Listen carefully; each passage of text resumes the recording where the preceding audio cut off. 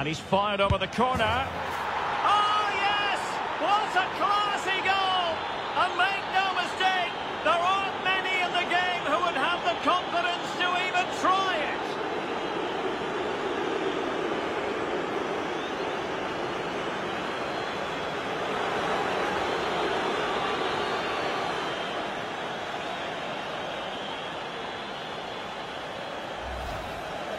Well, as you can see, they don't come much better than this. It's a goal of the high...